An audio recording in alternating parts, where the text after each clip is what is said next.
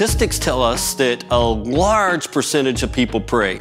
In fact, more people say they pray than say they believe in God. So you figure that one out. But our, our stance is this if you're going to pray anyway, don't you want to do it right? Don't you want to pray correctly? And from our vantage point, praying correctly means praying in the way that Jesus taught us to pray.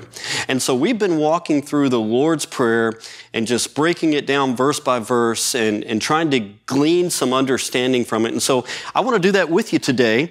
Um, I'm going to read to you these verses from Matthew chapter 6, verse 7 through 13. And this is what it says. This is Jesus speaking. And he said, When you pray, do not heap up empty phrases as the Gentiles do for they think they will be heard for their many words. Do not be like them, for your Father knows what you need before you ask Him. Pray then like this Our Father in heaven, hallowed be your name. Your kingdom come, your will be done, on earth as it is in heaven. Give us this day our daily bread, and forgive us our debts as we also have forgiven our debtors and lead us not into temptation, but deliver us from evil. And so Jesus comes to the end of this prayer, and he has this one little place at the end of this prayer where he says, God, lead us not into temptation. And if I'm in the audience at that point, I got to tell you, my response is, well, duh. Like, I, I don't know about you. Maybe you're different than I am, but I don't need any I don't, I don't need God leading me into temptation. I don't need any help finding temptation. I am fully capable of finding temptation all on my own. However, this is interesting because, you know, you, you think about this truth that God never leads us into temptation. In fact, in James chapter 1, verse 13, it says this. It says, Let no one say when he is tempted, I am being tempted by God. For God cannot be tempted with evil, and he himself tempts no one. So I'm like, come on, Jesus, do, do we really need to ask God not to lead us into temptation? I would think that would be like the default. God is not, maybe we would have to ask God to lead us into temptation, but he doesn't do that. And so, what is it exactly that Jesus is getting to at this point? And I think there are some things that I believe this prayer of Jesus teaches us that are really important. The first thing is this when we pray this prayer, God, lead us not into temptation, but deliver us from evil, it's an awareness that there is evil. It's an awareness that there is evil out there and it's lurking and it will hurt your life. In fact, Jesus said it this way in John chapter 10, verse 10. He said, The thief comes only to steal and kill and destroy. In 1 Peter chapter 5, 8, Peter writes it this way. He says, be self-controlled, or some versions say sober-minded. Be self-controlled and alert because your enemy, the devil, prowls around like a roaring lion, looking for someone to devour. The scripture just makes it very clear that there's an evil one, and he has a really devastating plan for your life. He wants to destroy your life. And so we need to live with a consistent awareness that there is evil. And when you pray that prayer, God, lead us not into temptation, but deliver us from evil, it just brings that awareness to your mind that there's an evil out there and it will destroy our lives. And I, I just want to say, and I hope you hear this in the right spirit today, but sin is nothing to play with. Sin will destroy your life. Sin is Satan's attempt to bring down your life, to bring destruction to your life. In fact, in James chapter 1 verses 14 and 15 it says it this way. But each person is tempted when he is lured and enticed by his own desire. Then desire, when it is conceived, gives birth to sin. And sin, when it is fully grown, brings forth death. The end result of sin is death. It's death to your soul, it's death to your spirit.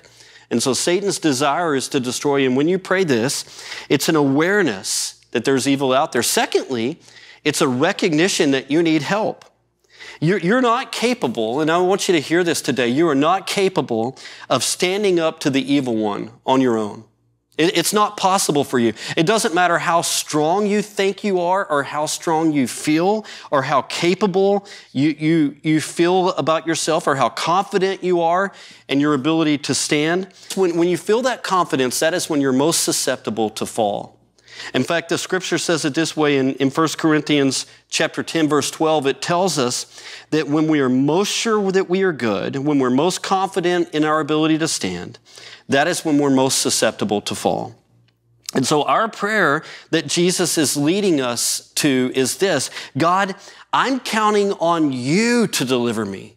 I, I know I can't do it on my own, so I'm counting on you to deliver me from evil. In fact, if, if I could just translate it for you and make it really simplify it and dumb it down, this is the Lord's Prayer for Dummies. It would just be help, God help.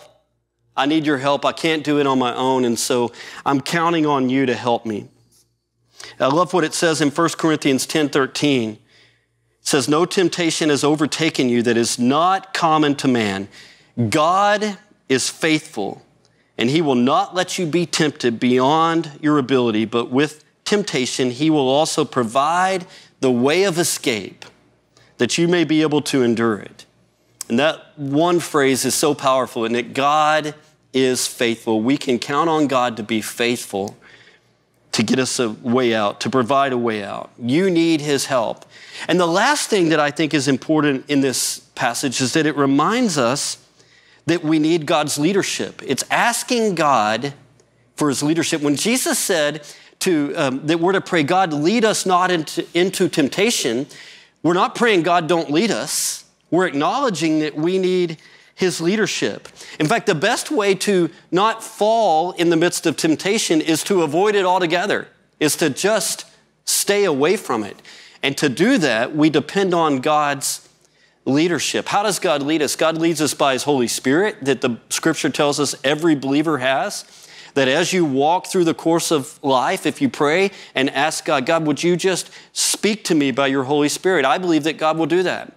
When your heart is right before Him, when you say, God, I want your leadership in my life, I believe God will close down doors. He'll whisper things to you in your spirit by His Holy Spirit, and He'll lead you. And He also leads us by His Word. He directs us through Scripture that as you're reading God's Word, He'll point out things that go, oh, this, this is a danger area. This is a place that you want to avoid. So I have a 10 year old daughter, and I've noticed recently that um, when we're in crowded places, like we'll be in a crowded mall, or at one point we were at Disney World together, and when there's crowd around and when there's chaos, oftentimes she will reach up and she'll just grab my hand. She doesn't say anything, she just reaches up and grabs my hand. Now, I, I have to tell you, I try not to make a big deal about this because I don't want her to stop doing it, but every time she does it, I smile. Every time she does it, there's something inside of me that just lights up because I understand what she's saying in that moment. She's not verbalizing it, but what she's saying is, man, there's chaos around here. I recognize there's danger around here. There are probably people that may not have my best interest. There are places I could go that would be dangerous for me. I could get separated and end up in a place that I don't want to be. And so, Dad, I need your leadership. I want your direction in my life. And I want you to know today that your Heavenly Father is the same way. He loves it when you reach up and grab His hand and just acknowledge, I need you, God, to lead me. In fact, one of the most, um, I believe, the most beautiful passages in all of Scripture comes from Psalm chapter 23. It's verses 1 through 4, and this is David, the psalmist, writing this. And he says, The Lord is my shepherd, I shall not want. He makes me lie down in green pastures, He leads me beside still waters. He restores my soul. He leads me in paths of righteousness for His name's sake. Even though I walk through the valley of the shadow of death, I will fear no evil, for you are with me. Your rod and your staff, they comfort me. Do you hear that? David speaking. Do you hear David speaking there and talking about his need for God's leadership in his life? And when you pray, God, lead us not into temptation, but deliver us from evil, you're doing the same thing. You're seeking God's leadership. I hope this time, as you've walked through this series with us, has been helpful to you to understand a little deeper how God commands us to pray, how God wants us to pray. And I'm sure of this that when you pray in accordance to God's will, God is faithful to answer those prayers. So we hope this time has been a blessing to you. God bless you.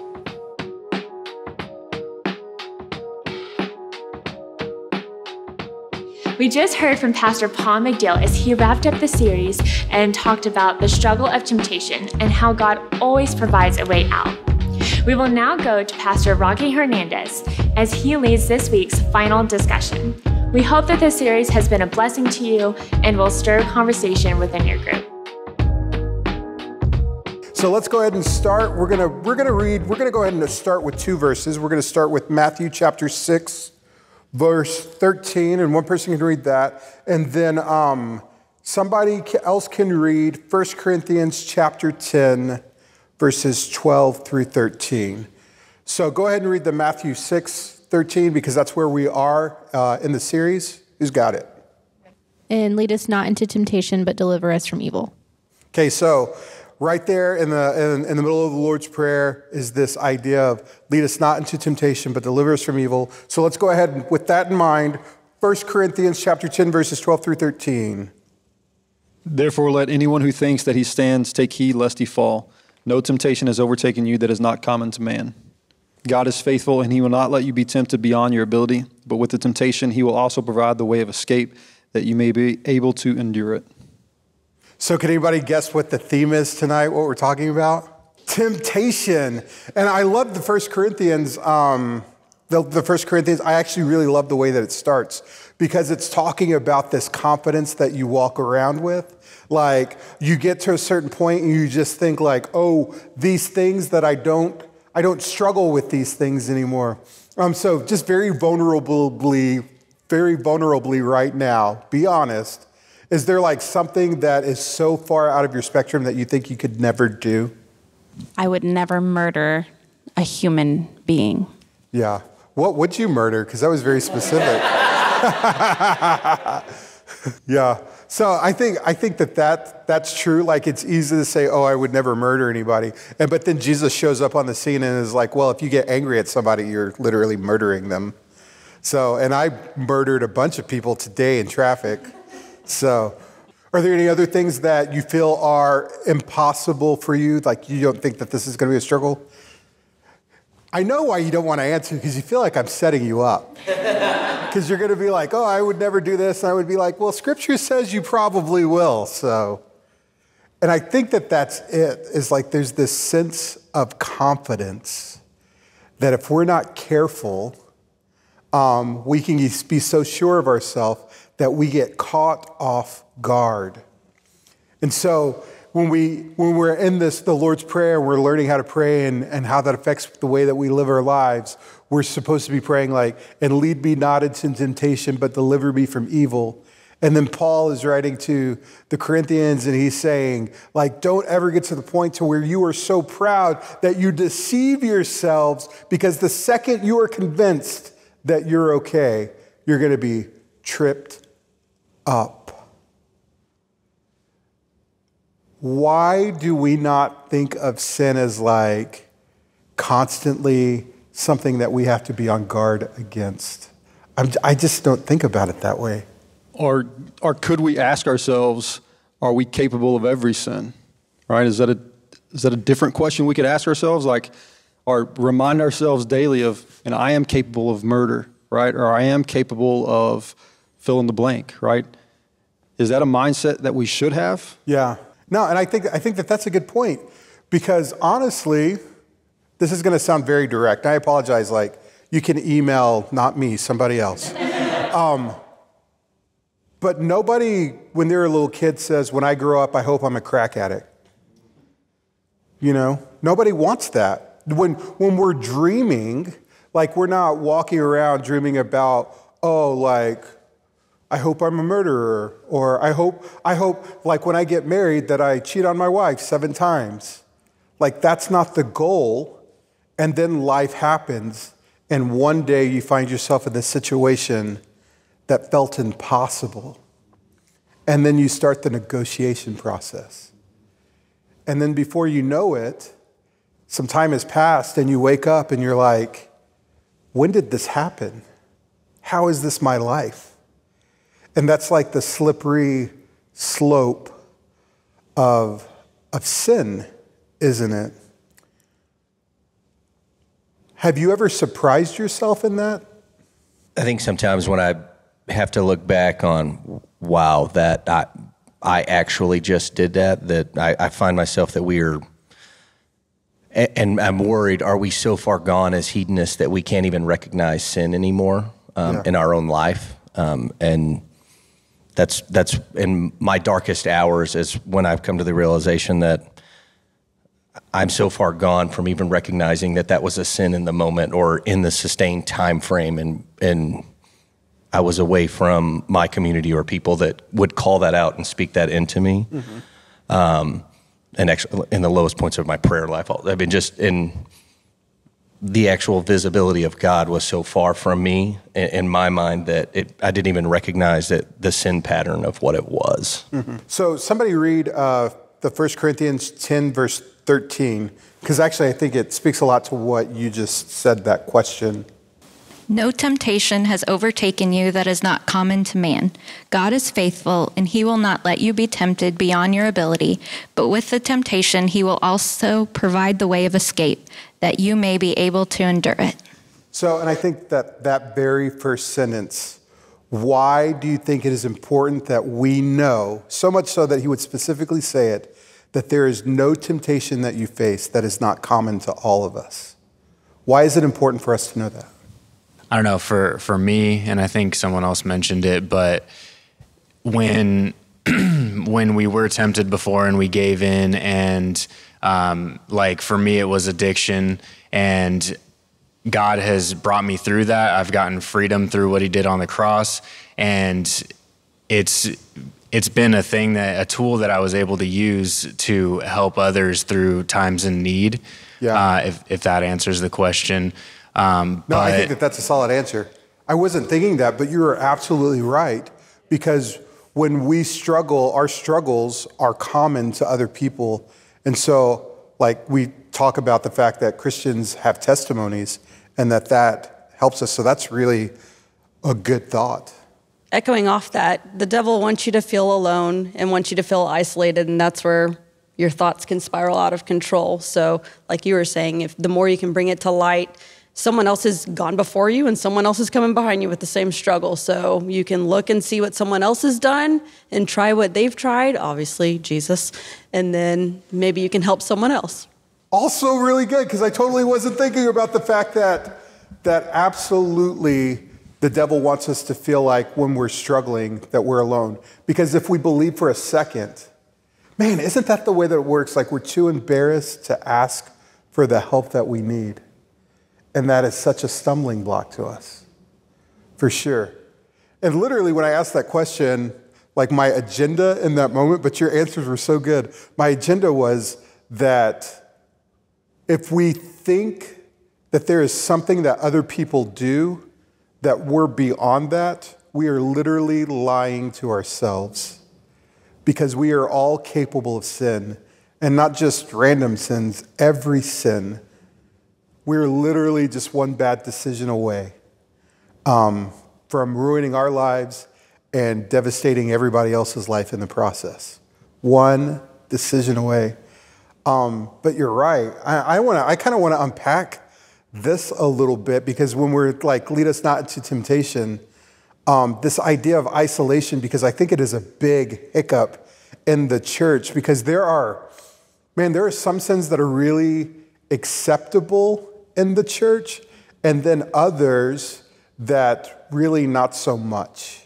What are some things that you feel people are very comfortable talking about in the church? And what are, what are, yeah, let's talk about that first, because then I want to ask the other question, which is what are people not willing to talk about in the church? So in college, personally, for me, like you always, a lot of us go to churches growing up where the pastors are like, "Oh, I was, you know, mad in line at the grocery store today, or I didn't pray fast enough." But like the first time that you hear a pastor or someone you really respect talk about like, "Oh man, like lust or porn or alcoholism Yeah. or extreme anger or like my wife and I almost got divorced," it's like, "Oh my gosh, like this person who I respect so much can go through that." Like you know, these are things that I'm not alone with. And, and even within our CGs, like these people that I have so much respect for, when I hear like, oh, they have the same struggles that I have, it's encouraging to me.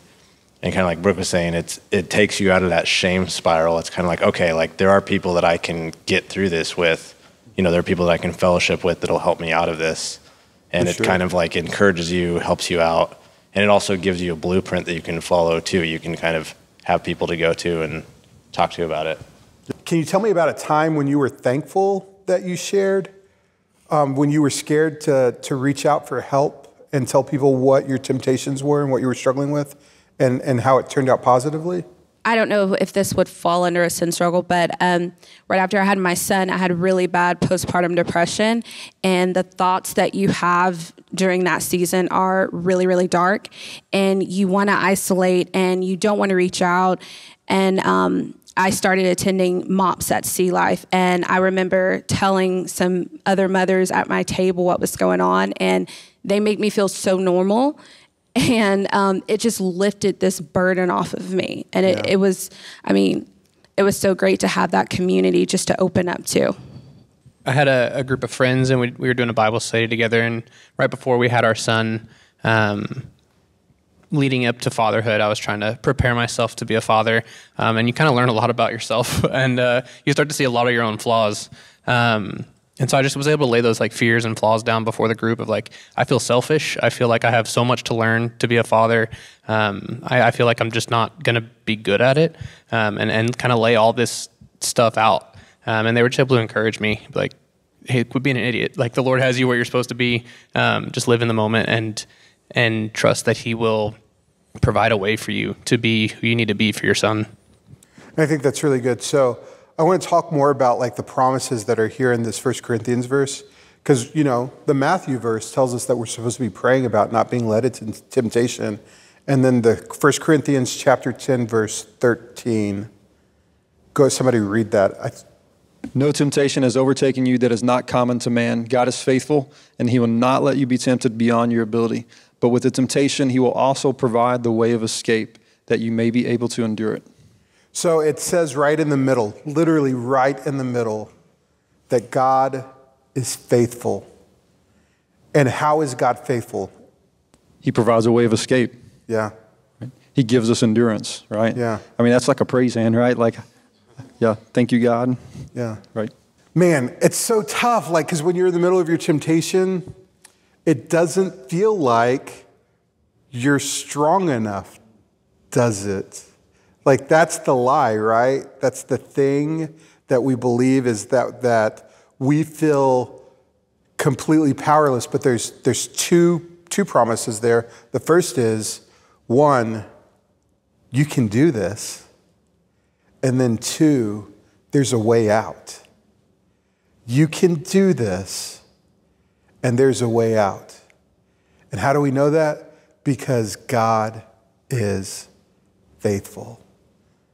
So, I mean, that's incredible. So, I just want to give you just like an opportunity. When I say those things to you, like what is going through your mind? You're, you're saying praise hands? Yeah, somebody else tell me. I think for me, I've lived on both sides of that. I've lived on, yeah, I know that, but why am I still struggling with this? Why am I failing with this? But to be on the other side of living in victory, it's it's even hard to explain because it's just like knowing that wow, God like Jesus, what you did at the cross literally is empowering me to overcome this right now. And it's not me, it's your spirit inside of me. And I think when we get to this place of like self righteousness, we set ourselves up to fail because it's like what God has saved is going to keep us going down this path of righteousness. So I just have to constantly live in the fact that Jesus, like just what you said, like I'm one step away from this, but thank God, thank you, Jesus, for what you've done. And so, just knowing where I was and looking back and seeing where I am, it's like this is possible. Like this victory, abundant life where we literally don't have to live with the chains of sin, it is possible. Yeah. And so, um, just living from that place of, of victory, I think, has radically changed my, my walk.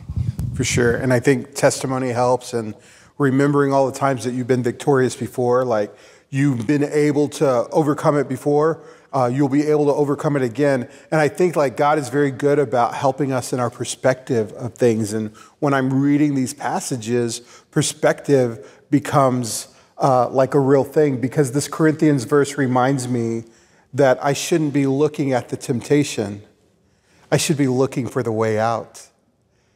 Man, and I don't ever do that. Like it's hard. I'm not, and I'm just like sitting here, I'm getting goosebumps thinking like, man, I should, I should retrain my mind to when I am struggling to not be focusing on the temptation, but to look for the way out.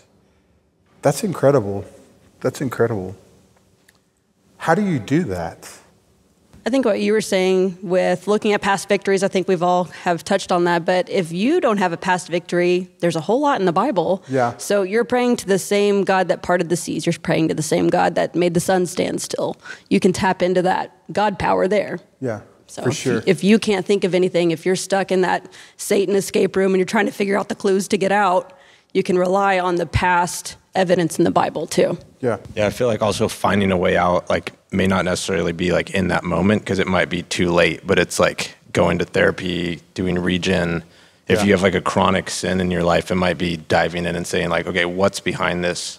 And preemptively getting tools or getting people around you, accountability to where you're more prepared to fight that battle next time. Because I think if you wait until you're in the moment and you're like, oh, I can pull myself out of this pit, you're probably setting yourself up for failure. So it might be just like preemptively fighting it, getting the tools in place, like learning what's the root cause of this sin that keeps happening. So fighting it outside of the moment as well. That's so good because I actually think like that at the beginning, there's no there's no sin that befalls you that is not common to all of man. And so like the first thing that we have to be willing to admit is like, oh, we struggle. Um, and there are things that we are exceptionally gifted in struggling more so than other people in. Like I'm I'm really good at justification of my own actions. And I know that doesn't always and I'm better at it than most people. But, you know, Christ also says you will know the truth and the truth will set you free. And so you have to like believe that truth. And so we're praying about our temptation. This is what Jesus, lead me not into temptation, but deliver me from evil. And Jesus is like, well, let's start with the fact that you know the things that you struggle with. Let's start there. Let's start by, by owning that and being honest. And then not feeling bad about it because it's not just you. We, we all struggle with something. Like, I believe that I could probably call any person in this room right now and say, man, I'm really struggling. I, I just need you to distract me, or I need you to pray for me, or I need, I need your help. Um, do you know who those people in your life are? How do you know? I know that that's a ridiculous question. How do you know that you can trust them? Most importantly, that they're going to tell me the thing that I don't want to hear Yeah. first, and they don't affirm me in my sin or in my justification of how I'm feeling. It's not just an affirmation all day. Yeah. Because the people that I've brought into my life and empowered with, hey, you you have control to tell me what I'm doing and, and point out and call out my sin. Um, you have to have that level of trust that they're going to tell you the truth and have my best interest at heart on the other side of this. So this is a this is a, a tough subject, but I think I think that there is a process here of one um, praying about the fact that that we have temptation um, and and seeking uh, God's help in being free from that evil that that that overcomes us in our life. And I think the process is simply like recognizing that all sin is something that we shouldn't be like so proud of ourselves that we think that we're above it, um, that we own it, that we recognize that our personal sin struggles, that we tell other people because that encourages the body of Christ. And then, of course, recognizing that I'm not by myself, but I'm here with you. All of that stuff is so beneficial when we think about temptation in our lives. And so I hope that this, as we've kind of worked through this difficult passage with you, that these conversations and these thoughts um, are encouraging you and your group. And I just, I just want to ask you, as a group, are you the kind of group that can help each other in these difficult situations? Do the people in your group know that you're a person that they can call if they need help? I would love for you guys to have a conversation about that. Um, if you need help uh, working through that, or if you find that you are in temptation and you need to make a plan reach out to us. We have lots of resources available to you, and we would like to make them available to you. You can reach us by tech, or texting CLC Connect to 31996 or emailing us at info at sealifec.com. You're not in this by yourself. We're all in this together. We love you guys. We'll see you next time.